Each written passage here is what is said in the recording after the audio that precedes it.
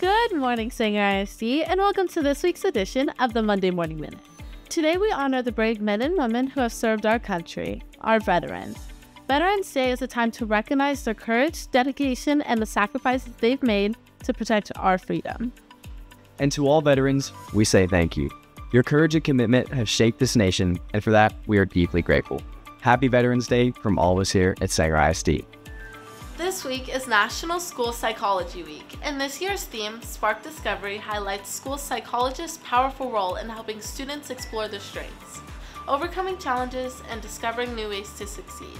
This week, we thank our school psychologists for their hard work and commitment. The Sanger High School Lady Indians basketball teams are hitting the road tomorrow night. They'll be facing off against Iowa Park with the JV game starting at 4:30. Our Lady Indians have been working hard and they're ready to bring their best to court. High School boys basketball teams as they take on Bonham at home. The games start with 9th grade at 5 p.m. tomorrow night. It's a great chance to catch up our players in action and show your school spirit.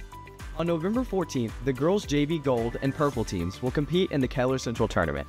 Meanwhile, our varsity Lady Indians will participate in the Paschal Tournament from November 14th through the 16th. And as we wrap up the week, don't miss the action as the boys team takes on Mineral Wells right here at home. The games are scheduled for Friday at 5 p.m., so mark your calendars and show your support for all the basketball teams. Go Indians! Exciting news for Sanger High's bass fishing team. They'll be casting their lines at Lake Lewisville on Saturday, November 16th, competing in their next big tournament. They're ready to take on the challenge and reel in some big catches. We wish them the best of luck and look forward to seeing what they bring from lake waters of Lake Lewisville. That's it for this week's edition of the Monday Morning Minute. Remember, there's no school on Friday, See you next Monday.